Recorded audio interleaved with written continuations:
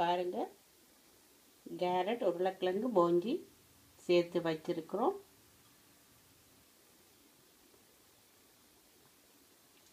குழந்தைங்க மரக்கறி லேசில் சாப்பிட மாட்டாங்க.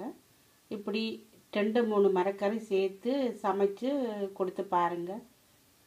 சாப்பிடுவாங்க.